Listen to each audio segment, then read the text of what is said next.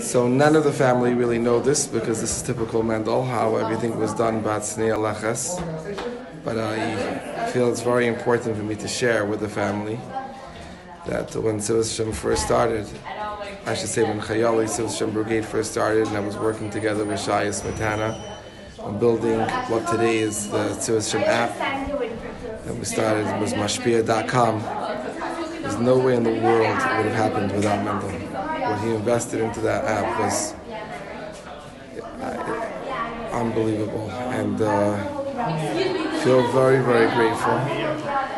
And uh, I know there's no real way of repaying him for all that he did, but I think at least now we can share with the family what he was doing behind the scenes. And I was also very close with the boys because he always came in, always came in for Rosh Hashanah, the boys in, you know, Nissen, and uh, he would always offer to take back stuff right after Rosh Hashanah, Yom Kippur, to Toronto for us. And uh, got friendly with the boys every year when they came in, and uh, I hear now that they're going to be around Crown Heights at least for a little bit, and I'm looking forward to spending time with them. I'm lucky Menachem Aschem, Seich Shavid Litzim Rishalayim, Shalom Lisha Simchas, and most importantly, it's already Giyaz Man Akis Vidan Sheikh Ne'afar.